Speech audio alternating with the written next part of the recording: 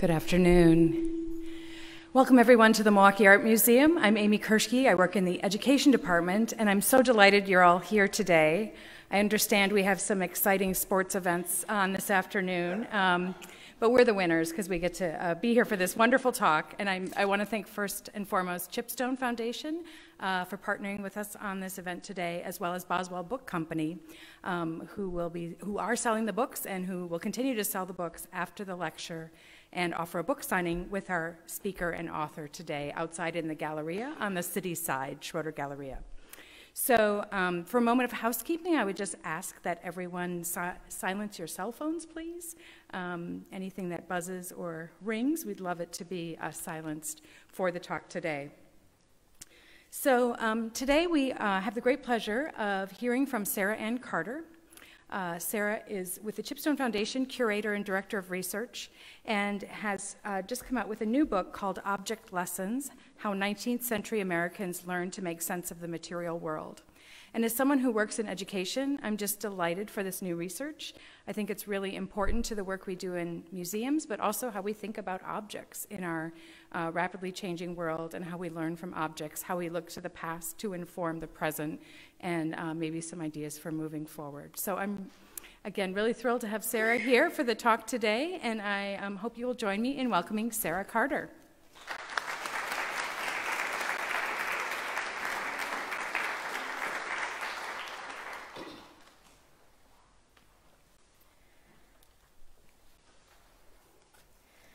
Well, hello, everyone. Thank you all so much for coming out on a Sunday afternoon and for coming out to um, hear me share my work and really to celebrate the launch of this book. This is um, this book just came out last month, and I'm really thrilled to be able to share it with all of you here here in Milwaukee. And before um, I really get into my presentation, I want to begin with a few words of thanks. Um, I'm so grateful to the Art Museum and to Amy for hosting us here today. I'm also really grateful to Daniel from Boswell Books, who's outside, and for the work that he does to really encourage readers and reading and authors and independent bookstores here in Milwaukee. Boswell's is a real treasure. And I'm also very grateful to my colleagues at the Chipstone Foundation, um, Jon Prown, who's here somewhere, and my colleague um, Natalie Wright as well, and all the other people who work with us at Chipstone.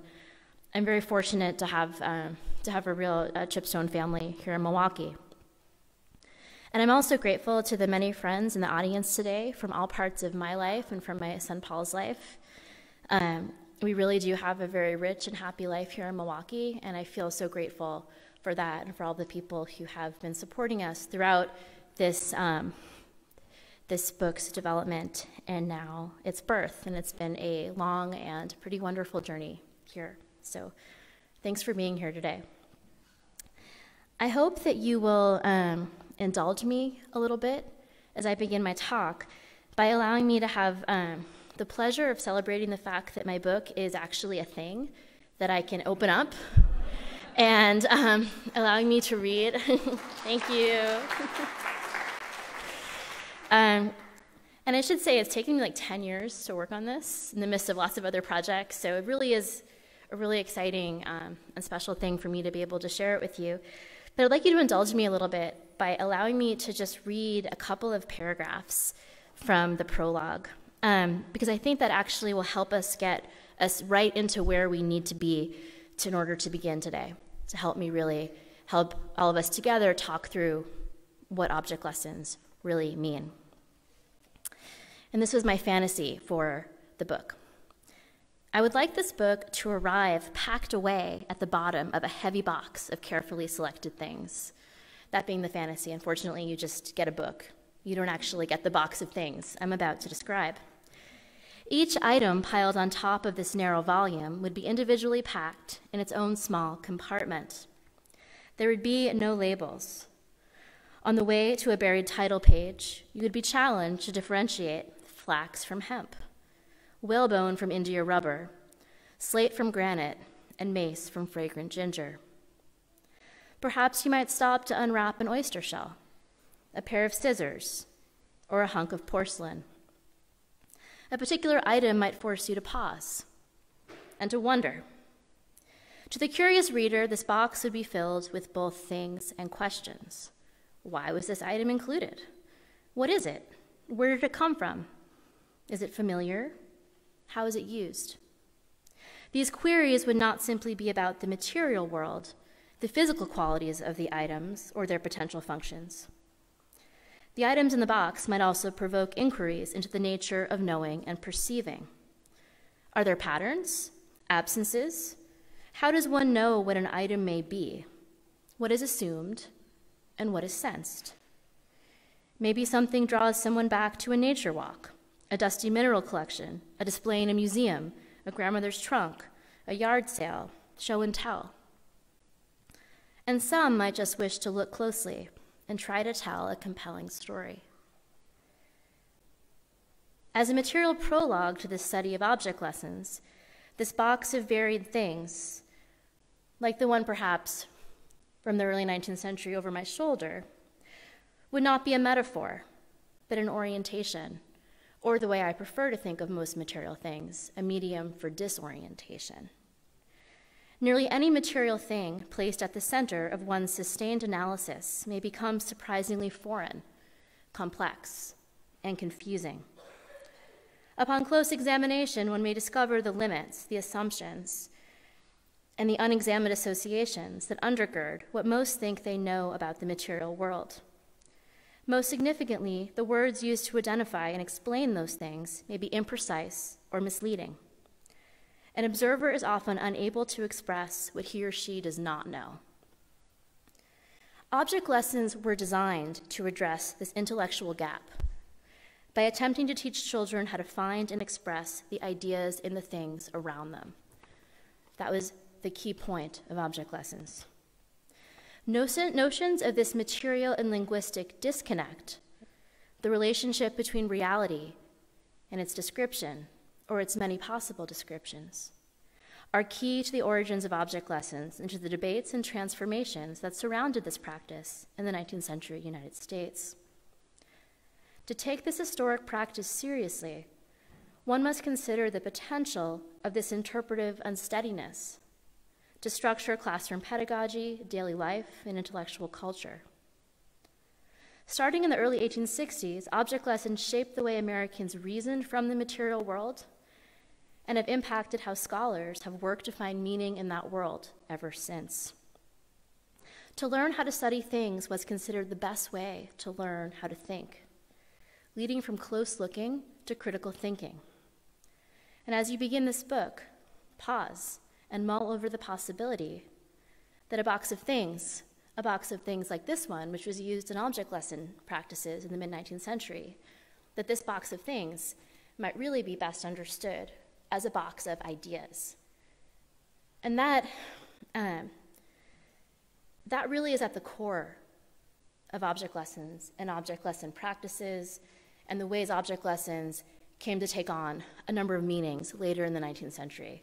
This supposition, this premise that a box of things is really best understood as a box of ideas, a box of ideas to be unpacked and unfolded and understood through your material engagement with those material things. And I began my book a decade ago with this question this question about the relationship between objects and ideas and how we understand those relationships. And it's really at the core of my project. I'm interested in trying to figure out throughout this project and in the work I'm continuing to do how do we begin to understand the material things and objects around us as having intellectual content?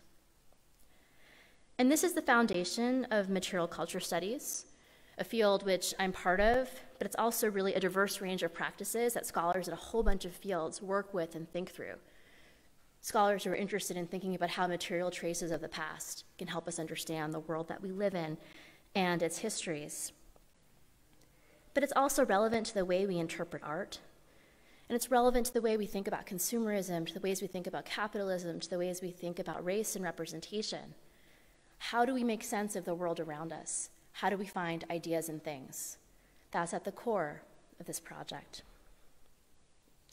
Now, these questions actually led me to a cache of sources that I didn't know existed and that I had never really heard of. I started doing research for this project as a PhD student, working on my PhD in American Studies at Harvard. And I found myself in the education library there, looking at textbooks that um, had the phrase object lesson in the title. Um, you know, lessons on things, how to give an object lesson, various books and articles that got me wondering is this actually a thing? You know, what is an object lesson? Because, of course, I knew the phrase object lesson as a metaphor. It's a metaphor that we hear a lot of. It's a metaphor that if you listen to NPR long enough, you're, loud, you're bound to hear someone say, oh, this is an object lesson in good government. Or more frequently lately, this is an object lesson in terrible, horrible government or horrible things that can happen. It's a concrete example of something that helps us understand a much bigger pattern. Um, you know, the New York Times columnist Paul Krugman loves the phrase object lesson. If you look back at his columns, I think he uses it more than anyone um, ever, uh, at least in what I found. Which I hope no one ever does to me or any of us to go through someone's writing and try to find the metaphor they most overuse. But that is the metaphor that he loves. So it's a metaphor that we, um, we see a lot of. But what I began to realize in my research was that that metaphor actually hid the history of an actual classroom practice. So this 20th and 21st century metaphor is only the second, you know, dictionary definition of an object lesson, you know, striking practical example or principle or ideal. That's its second definition. The first definition of an object lesson was actually an historic classroom practice, was actually the historic classroom practice that all of those textbooks that I was finding in the Ed School Library from the 19th century were describing a lesson in which a pupil's examination of a material object forms the basis of instruction. And that history was one that was almost erased by the popularity and the ease with which people use that metaphor. And so in my research, I jumped into the 19th century and I tried to figure out what was going on. And this actually is a journey that I detail in a bibliographic essay in my book because it was something that started to be so baffling to me how and why don't we know about this practice? You know, when was this actually a practice that was used in the 19th century? When was it a metaphor? What's the relationship between um, those two uses of the word? And to try to figure this out, I was in archives all over the US. Um, from coast to coast, I spent several years researching this project uh, and really trying to think about did this actually happen? You know, did people just talk about it? Or were object lessons actually implemented in the classroom? And I know there are um, many teachers in this room as well, and we all know education, learning is hard enough to assess in a contemporary classroom, let alone a historic classroom, right? How do we understand what people are actually learning or thinking about in historic classroom context? That was one of my challenges in this project. And um, that was really a quite exciting research adventure. And through all of this research and travel and going through a whole range of different archives, you know, from the Huntington in California to um, New York Historical Society in New York and lots of places in between, really thinking about where and how were these lessons used and applied. Did teachers actually use them, and what did it mean to students, to their families, and to the larger context in which they were living? So I found myself trying to figure out the history of this practice. And in my research, I trace it back, I trace its origins back to the classrooms of the unorganized classrooms of the Romantic pedagogue Johann Heinrich Pestalozzi. This is a posthumous picture of Pestalozzi. Like most romantic heroes, and I'm using capital R romantic heroes of the late 18th and early 19th century, he was kind of a mess, right? He just, his shoes were always, socks were falling down, he was always giving away his shoe buckles. He actually almost died after absentmindedly running a knitting needle through his ear while scratching his head. Like he was just a complete mess. But he was kind of a brilliant thinker when it came to pedagogy and when it came to thinking about children. And he was really quite interested in how mothers engaged with their children. And he was really quite interested in this idea of looking closely at children and trying to figure out what do they need? What are they looking at? What can we learn from actually engaging closely with children and watching the way they look at the world, the way they experience things? And as historians of education have detailed, I mean, he really developed um, some of the ways that we think about child centered pedagogy. A lot of them can be traced back to Pestalozzi's ideas. His real desire to look closely and to understand how is this child learning? What can I learn from what he or she sees? And in his teaching and writing, he emphasized the concept of Anschauung, which is a German word that is hard to translate, like many German words, but it translates roughly to a sense perception or an experience where you're physically and sensually experiencing the world. Um, so he was quite interested in that idea. How can we understand how someone is sensually experiencing the world? How can we use that as educators to help us in the work that we do? So, in the model that Pestalozzi develops, you move first from sensation, so that physical sensation, that Anschauung of you engaging with the world, then to perception, then to a notion or an idea of what you're seeing, and then finally to volition, learning how to act morally, how to make a decision, how to make a choice based on what you're observing, based on what you're feeling about the world. And this child centered pedagogy linked quite explicitly learning to observe, learning to experience, learning about the world around you, with learning to think and to reason. And this this way of understanding learning has been, you know, critiqued and reimagined. It was critiqued and reimagined throughout the 19th century and into the 20th century by a range of pedagogues and teachers. But that's really the foundation of object lessons. And as you can see in this posthumous portrait, he's really searching the faces of his students. He's just trying to see them and figure out what is this person comprehending? What is this child seeing? And it's in this world of kind of connection and exploration that we really imagine the birth of object lessons. And of course, he didn't invent the notion that um, children learn through their interaction with the world. I mean, we think of someone like John Locke and his concept of um, children being, um, you know, a, a blank sheet of paper or an empty slate. But he really transformed this into a um, way of thinking about education moving from sensation to volition in some pretty fascinating ways. But as I mentioned, this guy, you know, while he's this fascinating thinker, he's really unorganized. You know, he can barely get himself dressed in the morning. His schools are pretty much a mess, even though lots of interesting learning is happening in them. He's not an administrator. He's not someone who's able to organize his thoughts. And he's smart enough to realize that he can do that by bringing in a whole range of students from all over Europe and some from America. So he brings in these students who are ambitious students who want to become teachers, and they take the best parts of his methods and they translate them into methods that can be scalable and used in a whole range of classroom and teaching settings, really all over the world. Um, and his students were able to transform this idea of moving from sensation to perception to notion and finally to volition into systems, which can really be scalable. Of most importance to my study is a young man named Charles Mayo.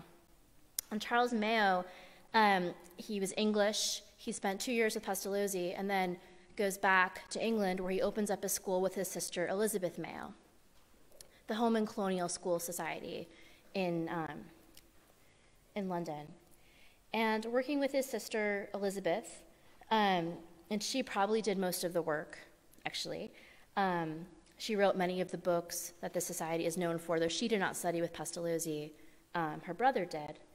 They were able to develop a scalable system, a scalable system that could help teachers actually move from some of Pestalozzi's very basic ideas all the way through an understanding of how to apply and use those ideas in a school setting. One of the main problems that they were trying to solve in doing this was the problem of rote learning which was viewed as a real problem in the 19th century United States. This idea that children were learning to memorize, that they were learning just to take in information and parrot it back, take in information and parrot it back, which is not a model in which you're really learning how to think, how to take that information in and to transform it into a new set of ideas, or to learn how to act morally or to make decisions based on that information that you're taking in. They were really interested in trying to develop a way in which children could learn about could learn about the world through their senses and through that kind of engagement. And then through understanding almost what we would think about as critical thinking in the 21st century move from there to make decisions and to better understand the world they were living in. And this was often brought up as a problem at moments of real um, political crisis. Like, for example, in 1848, when revolutions are rocking through Europe, there's this argument we need to teach children how to think, not with rote learning, but through um, various modes of pedagogy that can help them learn to think critically. In the US context, this becomes something that's talked about a lot during the American Civil War. The idea being um, if only we had learned how to think critically, how to look closely, how to make connections, we could have avoided this national crisis of the Civil War. So, object lessons are often brought up in that context. It's really about learning how to think. And the tools that people suggested, that Elizabeth Mayo, her brother Charles, drawing on Pestalozzi's work, the tools that were employed to do this were tools like this one boxes of objects that could be employed to teach children how to look closely, how to observe, how to make connections between objects and ideas in the classroom. So, for example, I'm just going to walk you through a classic object lesson. You would start with observation, looking closely at something. You would then study an object for its qualities. What are the qualities that makes this what we say it is? Then you would study the object for its qualities that cannot be discerned merely, merely through the senses, through observation. Then you would classify objects, try to figure out, well, what is this thing that I'm looking at? Does it fit into a category? Can we understand it in a new way? And finally, you would write about it. So, key to object lessons was actually moving from close looking and observation through developing a composition, through turning that thing quite literally into a text that could be shared in a new way. And that's also really key to our understanding this practice.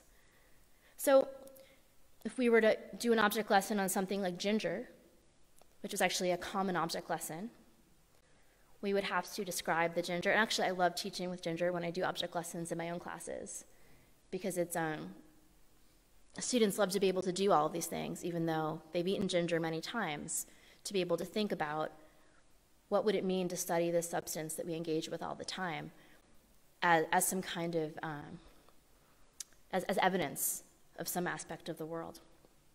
So if we were to look closely at ginger, we'd describe it, try to figure out what we we're looking at. Some of its qualities, it's opaque, you can't see through it. It's aromatic, it's rough, it's pulverable. Those are some of its material qualities that we can figure out by looking at it. If I were to say, here's this substance, describe it, come up with some qualities that describe that substance. But then there are also qualities that could be described as accidental, qualities that we can't see by looking at it, but qualities that I can still teach you about that object or that substance. Ginger's foreign, if you're someone living in England, or later someone living in the US. It's imported, it's medicinal. Those are cultural contexts for that ginger. You can't see those qualities in looking at them, but an object teacher could teach you to see those qualities in that object, could teach you to connect that material thing to some of these abstract ideas. Ideas that you can't get just through the senses. Finally, you would sort it into groups like spices or something else, and then you were to write about it. A lesson like this one helps us understand and begin to get into some of the complexities of this pedagogy, which we'll be talking towards throughout our time together today. To be able to look closely at something and come to a conclusion through an object lesson that it's foreign. That's a way of connecting something to that object that becomes part of that thing that is not physically there. It's a way of connecting an abstract idea the category to that material thing. And it's a way of suggesting that that abstract idea might actually be a quality of that material thing. Um, that really gets us into different ways of trying to understand some of the cultural work that object lessons did.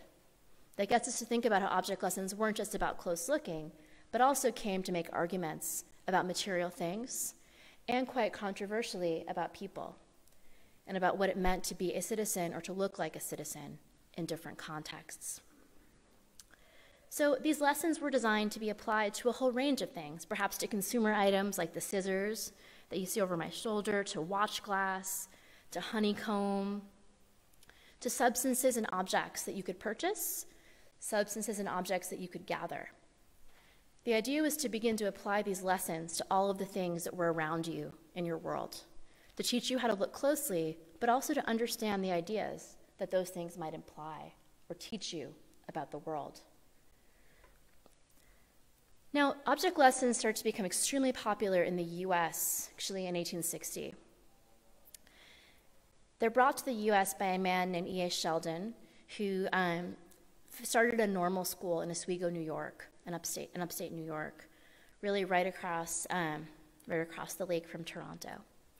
And he went to Toronto and saw all of these fascinating object lesson teaching aids, and he decided he wanted to bring them to the US. And actually, it is through the Oswego Normal School, which would become SUNY Oswego, that object lessons spread throughout the United States through the teachers trained in that school. And Sheldon liked to imagine the power of object lessons this way, and this tree was one of his favorite ways to visualize what object lessons allowed for. He would start at the bottom of the tree through education of the senses, going up the trunk through perception, and then branching out into all of these ways of thinking. But all of it is rooted in education of the senses. So, ideas about cause and effect, um, ideas about um, uh, perceptions of difference, all of those things, Sheldon argued, were rooted in our understanding of perception and the senses. And Sheldon's real innovation not only was you know, writing about and coming up with all of these ways of um, further organizing object lesson pedagogy was he fitted into the US common school system. So within a couple of years, object lessons are in common schools across the United States.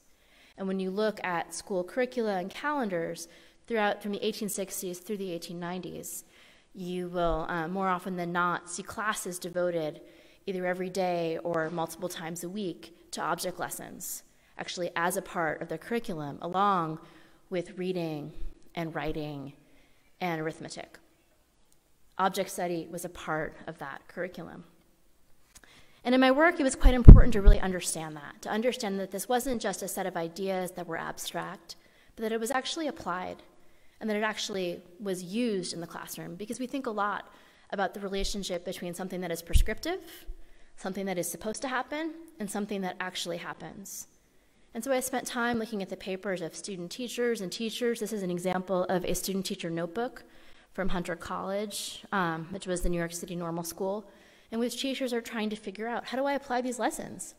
How do I actually do this? How do I make this work in my classes? And teachers are really working to apply and to use these methods. And you know, within a few years, object lessons are across the U.S.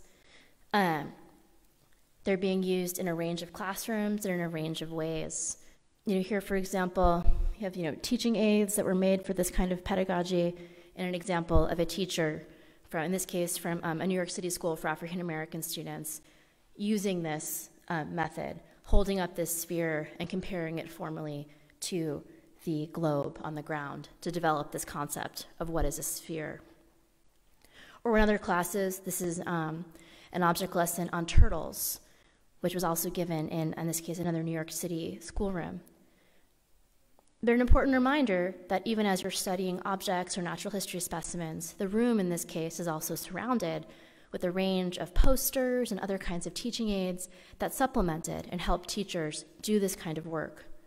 So there's also a whole range of object lesson teaching aids that can help us understand how this way of moving from observation to composition, from close looking to making decisions and to writing, also impacted the way 19th century Americans talked about visual culture, also impacted the way 19th century Americans talked about images.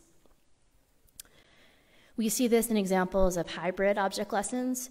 Like this um, is a truly bizarre set of object lessons where it was actually fairly popular, but bizarre to me when I found it, where there are a series of cards, these large cards, that also have objects glued onto the surface of them.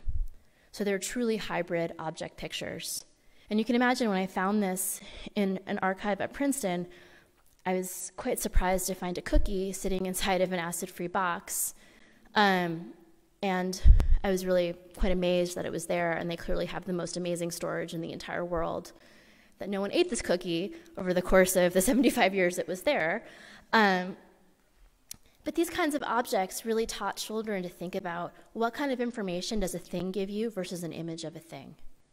And this was actually a conversation that was happening in these classrooms. Like, what does it mean to have an actual cookie, or shafts of wheat, or pasta, or a plate of straw that's been braided, or bizarrely, um, a specimen of paper made from wheat glued on top of a card, which presumably is also made from some kind of nat- which is also made from some sort of natural material. These lessons were supposed to really teach you to look differently at everything that was around you as a source of knowledge, and to think about everything around you as a way to develop a whole range of ideas ideas that you could see, but also ideas that could be connected to maybe what you can't see, but what is still there within that thing. In other cases, an image might be necessary, like this giant bell in the middle, but then on either side of it, you have, you know, or you have um, smaller objects that could be made out of tin or, um, or pewter. These sorts of lessons were really designed to help children understand the commodities around them as, um, as things that were produced, that were made, um, that didn't just appear, and that had stories and knowledge embedded in them. The practice was also very explicitly applied to the study of images. And in, um, in my book, I look at how this connects to the ways we understand 19th century visual culture and the ways we talk about 19th century art, because I think there is a viewing culture that object lessons actually really quite consciously suggests. One that um, connects close looking and what you're seeing in those images to a whole range of ways of interpreting those images, but I won't, I won't get into that today because that's much more of an art historical intervention. Um, but in these lessons that were used in the classroom, the idea was that children would look at these scenes, observe these scenes, go through a series of lessons around these images, and then think about the kinds of decisions that they would make. So, for example, here, children were supposed to look closely, and then they were supposed to work to develop the conception of what blindness might be. And of course, in the 21st century disabilities context, this seems somewhat ridiculous, but children were told to close their eyes, to cover their eyes, to walk around the room, to try to imagine what that was like in the context of this image, and then to think about what decisions would they make when faced with a scene like this. The idea was trying to take an image and make it bodily and concrete in a way. Or to be able to look closely at an image like this and to understand what made this a happy family. What do we see in this scene that suggests there is order rather than disorder? That there is structure, that you know is is the is the cup and the saucer? How do we understand this family? What can we look closely? How can we look closely at this image and understand what's happening here? And there are detailed lesson plans that go along with images like this that can then be used almost as a key to help us understand how 19th century genre paintings were looked at, that can help us understand how a whole range of other images were understood within this viewing culture.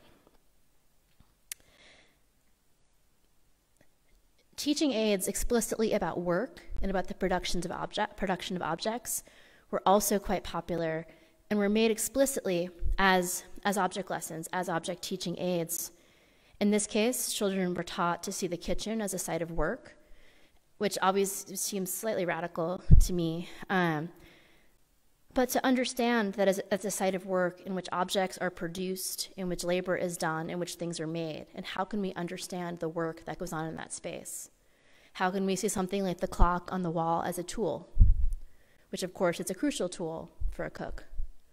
But how can we begin to understand the kinds of stories that are embedded in these images? And object lessons actually, there's a method, that there's a lesson plan that goes along with this particular image that includes going to visit a kitchen looking closely at the kind of work being done, the tools that are being used, returning to this image with that knowledge of those tools, and then thinking about how that changes the way you see this image, and eventually writing about it. Or something like this um, this lithography studio, in which children were taught to you know, look closely at this image and to understand the various stages in the making of a lithograph to visit a lithography studio, to understand what lithography was, and then to apply that way of learning and analysis to the lithograph, this is a lithograph, that they were being told to study in the classroom. So, at the core of object lesson pedagogy is this desire to make students hyper aware of the material world around them, where those things came from, who made those things, how those things could be made and understood. And at the core of that, there's this idea of understanding those objects is almost a crystallization of labor. There's very much a Marxist thread, thread throughout this that you're thinking about these things as not just being a material thing, but one that crystallizes and congeals and brings together the labor of many people who work on those objects. And part of this is intended to make that visible even to young children, to help them understand and talk through how these things are created and the kinds of ideas or stories that can be in the objects around them. You know, another example in that vein, like type metal. The cards that they're studying from are obviously printed. So, what does it mean to take a card that is a printed card and to say, we're going to teach you how this card was made that you're looking at? Again, this awareness of media, this awareness of how everything around you is created. And there are lots of other ways in which object lessons were used too. They were used in schools for the blind and deafblind and deaf. This is an image from the Perkins School for the Blind in Boston, where object lessons are used for students with a range of abilities. And object lesson pedagogy also becomes um, it becomes something that eventually is connected um, through Pestalozzi's students and their students to the kindergarten movement. Um, kindergarten actually intellectually is an intellectual descendant of object-based teaching, as is Montessori. And so we can think about this whole range of object-based practices that comes out of object lesson pedagogy. But of course, it's not all um, all of these practices have complexity, and these practices are not all necessarily positive, and we have to think about them um, in a more nuanced way. So, for example, I also write about the kitchen garden movement, which um, is a very little known movement that became quite popular in the 1870s, 80s, and 90s as a variation on kindergarten. This is a movement that used all of the same methods of object lessons and object teaching, but used it to train servant girls so that they would actually know what it felt like to be servants, so that they would understand how to look closely, how to make sense of when something was messy or clean, um, how to really engage, um, engage properly in the material work of being in service. And these were classes that were used for um, uh, basically girls from modest backgrounds throughout um, cities in the northeast of the United States. And they were also established in Belfast in Ireland with the idea of intercepting servant girls before they immigrated to the US. So they could learn through modified kindergarten methods, kitchen garden methods, what it felt like to be in service. And these are the kinds of materials that were used in kitchen garden work. And in these methods, um, the same kinds of songs that were used in kindergarten work, songs about brotherly love or the cuckoo, songs that be played on the piano, were adapted to teach girls what it felt like to be in service. So that actually knowing whether or not soup was too salty or whether the dishes were straight or whether things were properly folded were bodily and material skills they were developing that could become qualities of them. You know, one verse from one of those songs, um, you know, this to straightness trains our eyes, and we quickly gr- grow so wise. So we'll only take a moment's look to see the slightest turn or crook. So these same methods, which could be deployed to teach children how to think expansively, how to think creatively, how to make great decisions, could also be used to teach children how to how it felt what it felt like to be a servant, what it felt like to inhabit a particular social role. And many of the lessons also had really quite serious racial complexities that are important for us to think about. So, for example, a lesson on cotton in New England or in upstate New York, where object lessons were quite popular, was really about being a consumer it was about understanding where that cotton came from and understanding the different kinds of materials that you, uh, you could purchase, that you might want to purchase. But when these lessons were given um, to recently freed African Americans or the children of freedmen in the South in the years after the Civil War, those lessons were quite different and looked quite different and suggested a different relationship between the students, the materials, and the kinds of ideas that they were being taught through those materials. So in this case, rather than finished commodities, you know, there's a pile of cotton on the table. Excuse me. Or in this case, this is a scene from um, the Hampton Institute, which I'll talk about in a moment. The children are being taught how to take um, balls of cotton and sort of roll that raw cotton between their fingers. That's a very different kind of object lesson activity. That's a very different um, set of sensory lessons that they're learning through that. And I think that's an important reminder for all of us who are thinking about object based learning in different contexts. Object based learning, just like textual learning, but in some ways more so, we are engaging with histories of race and class and access to things in ways that we have to be very attentive to in the work that we do. And this is a scene from um, the practice school at the Hampton Normal and Agricultural Institute.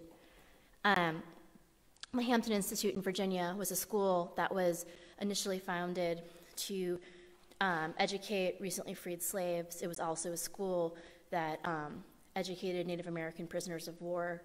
And as a school that was a normal school, and by normal school, that means it's a school for teachers as well, um, object lessons were part of that curriculum. But quite controversially at Hampton, students were taught via object lessons and quite literally referred to as living object lessons.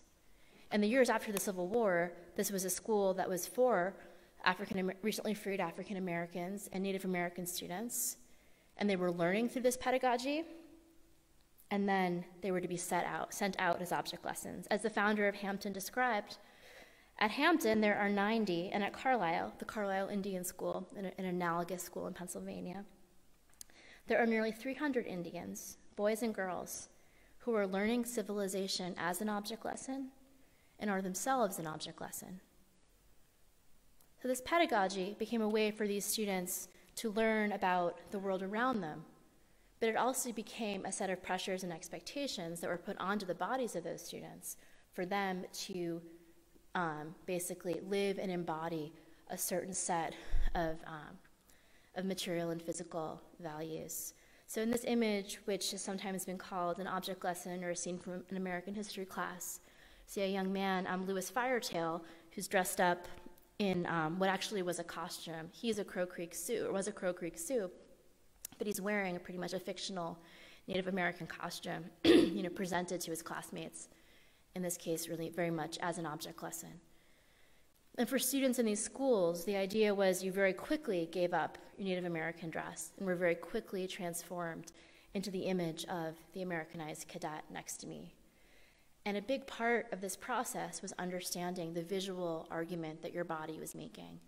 And this was talked about quite explicitly in terms of object lessons, in terms of the lesson you were showing to the world through your body and the way you carried yourself. And Lewis, who was in that previous image, you know, is shown here. This is a very poor image, but it's, um, it's one of the, the, only image that survives of this particular scene. This is um, his wedding photograph. His wedding was actually reported in the New York Times, bizarrely, um, because it was a double wedding in which um, a white man married a Native American woman. And he's shown here with his wife, um, Minnie. But this is how he's presenting himself. You know, this is how he's being asked to present himself as a lesson. And so you have this real facility in understanding self presentation and making an argument through his body and the kinds of stories that he's presenting about himself. And this was a clear moment for me in my research. And I didn't know about the Hampton story. I didn't know people would start to be talked about as object lessons when I began this project. But this is when I began to understand how the object lesson became a metaphor, how it moved from classroom practice to a way to talk about concrete ideas. Because it, it wasn't talking about the bodies of African Americans and Native Americans, that you see people using it both ways. And then that pedagogical side of it starts to disappear and you're just left with this idea that a person can be an object lesson without that methodological way of teaching you how that's possible. So, other students at Hampton, not just Native American students, were also referred to in that way. And this, um, you know, quote from Booker T. Washington, that they were to, quote, send out a class of leaders who go out among their people as object lessons was a very common way to talk about the graduates of these schools. So you begin to see the metaphor taking over for the practice. Um, and then the metaphor really takes over in the late 19th century. You start to see object lessons being used in advertisements. You know, there's a soap ad. And this woman there with her, you know, shirt waist and skirt, she looks very much like a teacher. She's going to teach you about the world, perhaps, through her soap. She's presuming that you have all the knowledge you need to understand that this is the purchase that you should make, right? This is the soap that, um, if you could only look closely at it, you too would want to write an essay about how Copco soap is the one that you should have and we start to see it in literary sources, in advertising, beginning to become divorced from that earlier way of moving through object, through the qualities of that object, through abstract concepts, on and on.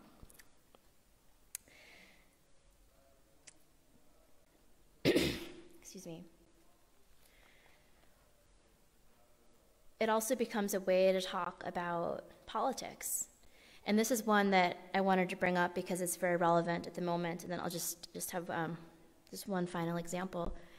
But object lessons actually became a key way to talk about the McKinley Tariff of 1890. Um, and it's been so funny to me listening to discussions about the current tariff situation that our country is in. Um, when people bring up commodities or bring up specific objects as ways to try to help us understand that tariff? Well, this was the way people talked about object lessons and talked about tariffs through object lessons in the late 19th century. And this is an example of actually a tariff, uh, an object lesson created to protest the McKinley tariff, and it was a tin card. It was a piece of tinned sheet iron.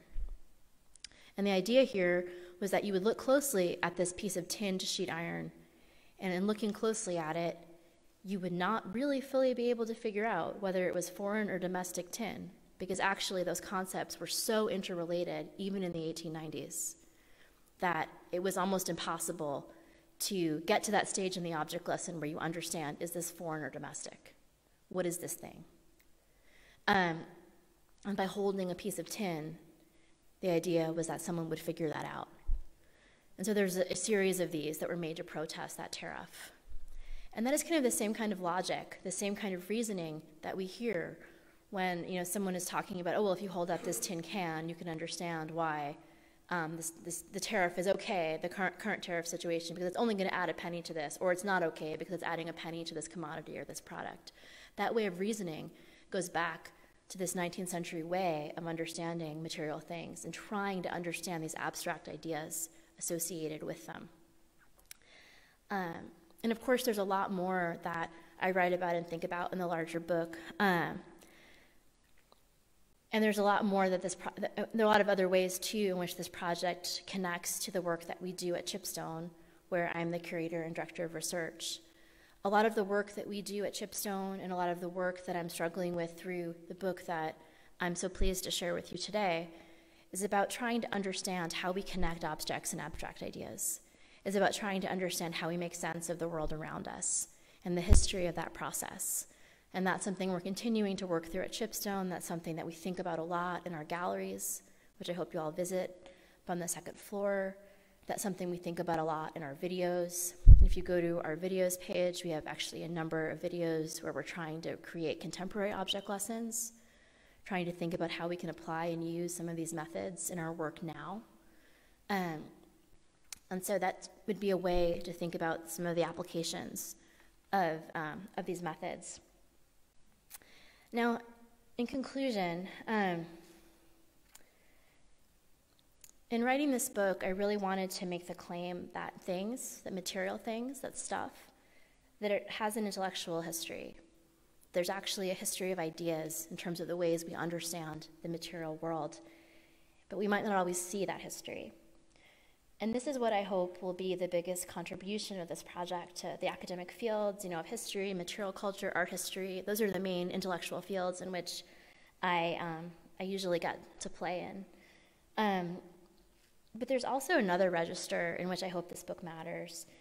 And I hope that it will make us more aware of the ideas and implications of the things around us and the ways that we, we consciously and unconsciously reason through things, the ways that we consciously and unconsciously communicate through things, and the decisions that we make about those things, whether we're making them as consumers or citizens or parents or teachers or museum curators.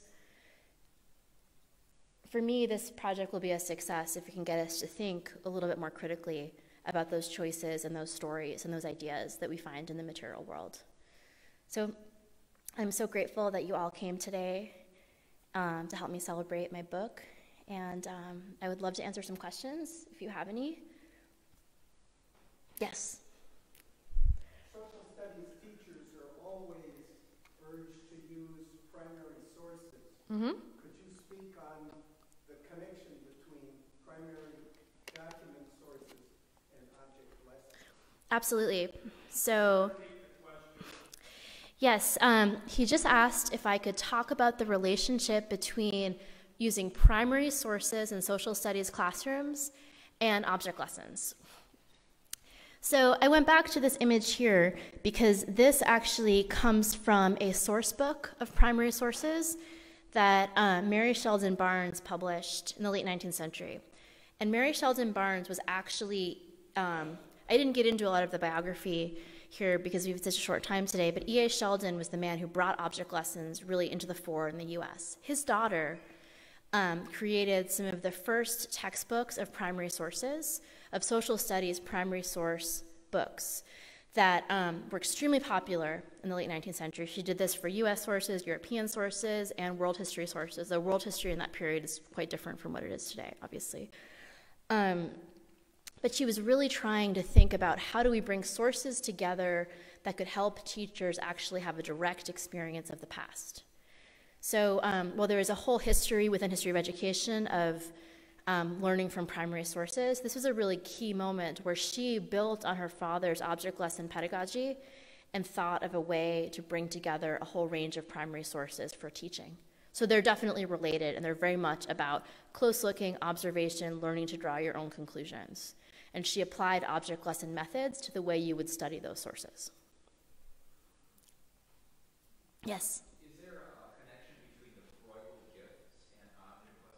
There is a connection. So Froebel um, studied with Pestalozzi. So he was one of those um, really organized young men who, like Mayo, went to one of Pestalozzi's schools and spent time there, and then was able to translate those ideas into a series of gifts, into a series of activities that went along with those gifts. Um, and his focus on unity, there's, you know, there's a lot of talk within um, like Froebelian writing about unity and about you know the connections between all things. And when you look at those gifts, you know you have you know the three colored balls that are made out of um, that are you know knit or crocheted. You have those same balls in wood. You have those same balls in other materials. Like there's a there, there are connections that can be drawn between those things, um, and it's very much within this. It's, it's basically almost like another variation of object lesson pedagogy.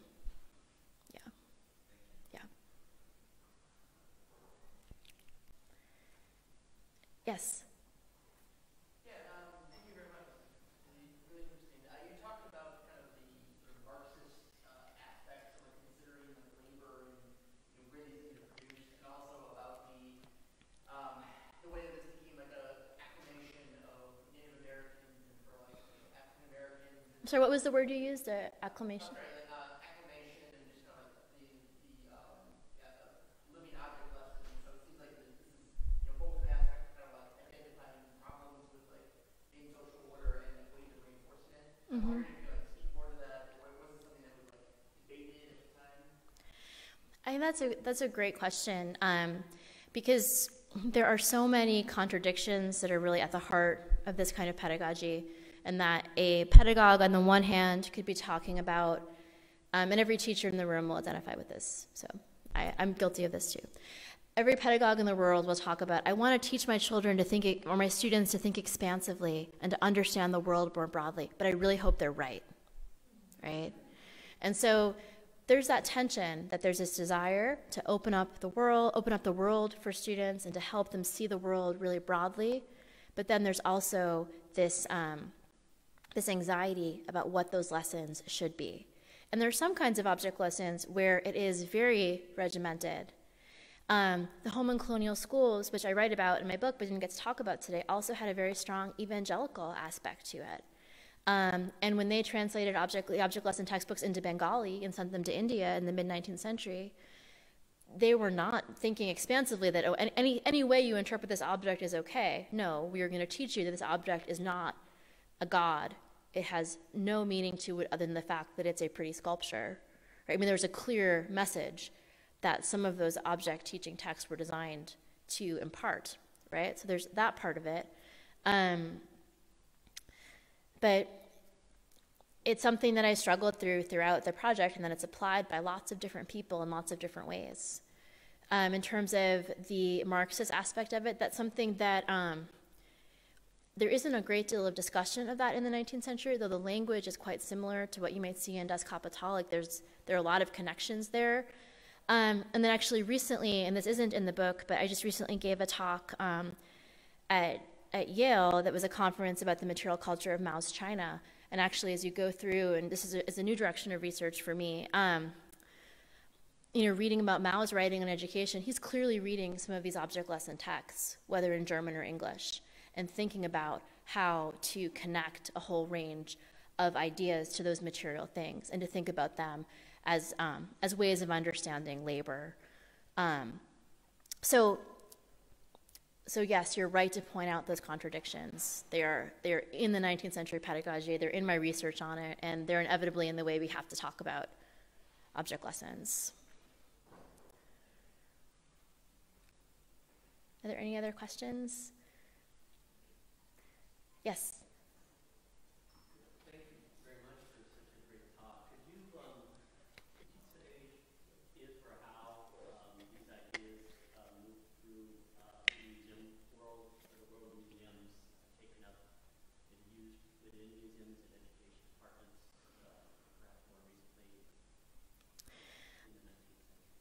Yeah, so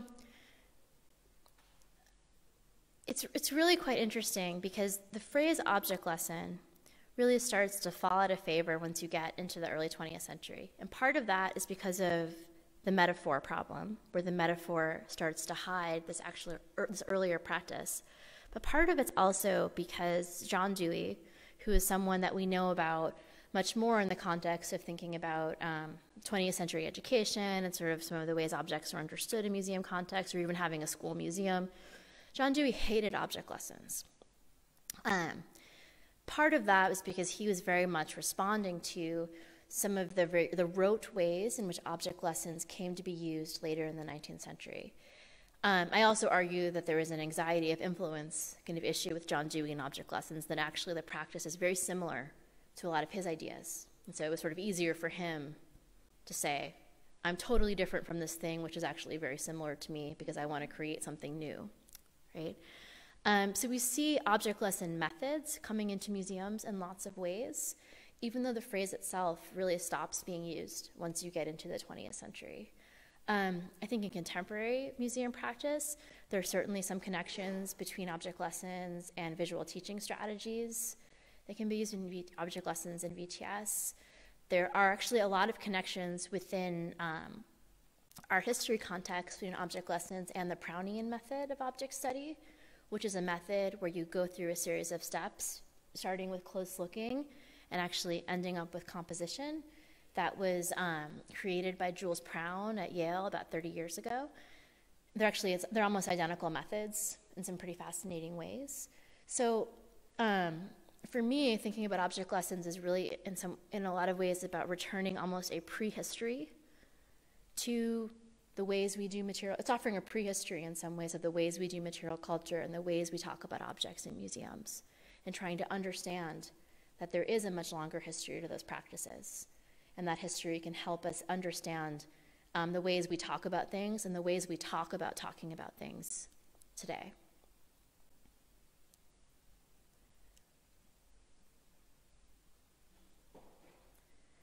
Well, I just want to thank all of you um, so much for coming out today on Sunday and um, for helping me celebrate this project and for asking such thoughtful questions. Um, I'm really grateful, and I'm really grateful to be able to continue to work and teach with objects here at the Art Museum. So, thanks.